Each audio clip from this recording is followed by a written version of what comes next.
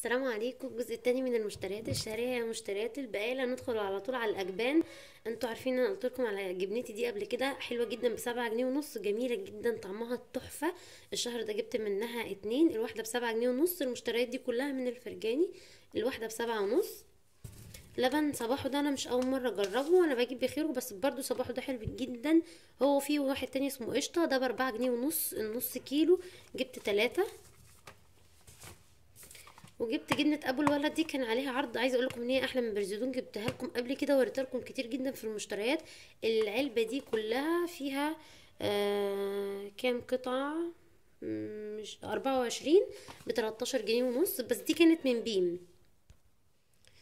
جبت الخل ده أنا كنت جايبة أزازة نوع تاني للبرسيل الجل اللي أنا قلت لكم هعمله. ده جاردينيو دي بتلاتة جنيه خمسة وسبعين قرش.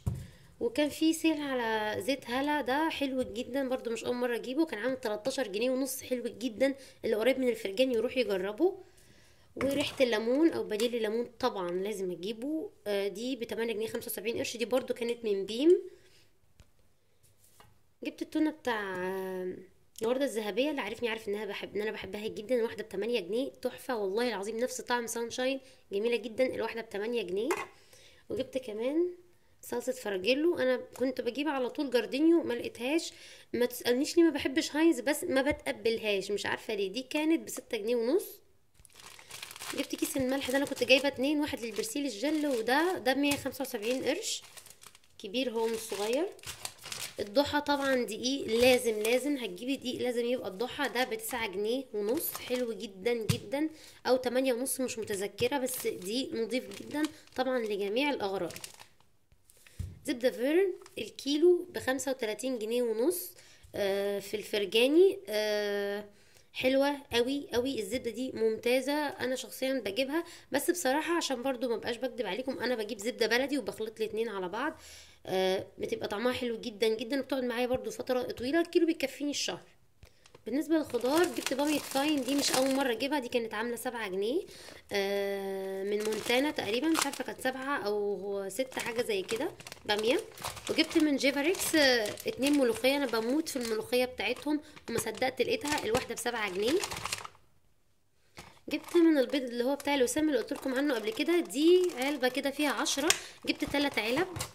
علشان أنا عايزة أعمل حاجات الشهر ده وعندي مناسبة كده فمحتاجة حاجات بزيادة شوية.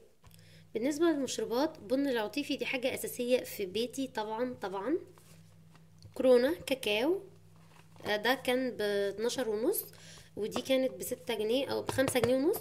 وجبت ربعين شاي العروسة. إحنا ما بنشربش شاي ليبتون ما بنشربش غير العروسة. جبت ربعين الواحد ب 18 جنيه ونص.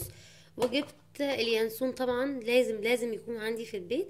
ده عامل كان عامل مش عارفة كام يا ربي كان عليه عرض مش متذكرة بصراحة هو كام.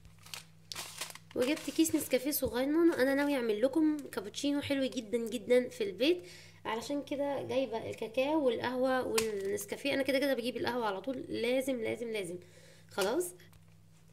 زي ما قلت لكم أنا عندي مناسبة الشهر ده فمحتاجة حاجات من دي كتير. فجبت فانيليا و baking powder.